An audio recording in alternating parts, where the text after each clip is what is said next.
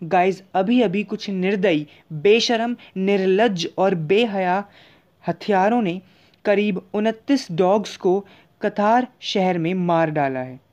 आपको बता दें कि कुछ डॉग्स को इन्होंने इंजर भी किया है और इनका कहना है कि इनमें से एक डॉग ने उनके एक बेटे को काट लिया था, इसलिए उन्होंने इन सभी डॉग्स की हत्या कर दी।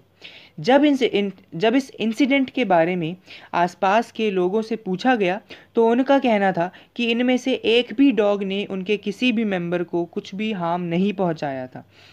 तब भी क्यों इन्होंने इन सभी डॉग्स को मार डाला?